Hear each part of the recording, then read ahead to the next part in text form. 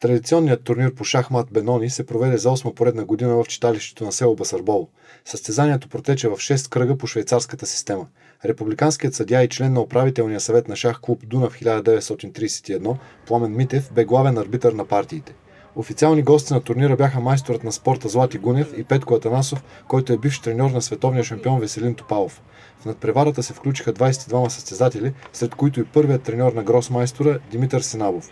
Организатор и спонсор на турнир Бенони е Боян Богомилов, който осигури купа за победителя, както и медали за първите трима.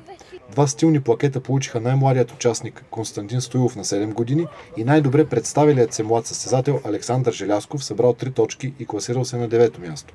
Крайен победител на турнира е Тодор Каменов с 6 точки, следван от Милен Райчев с 4,5.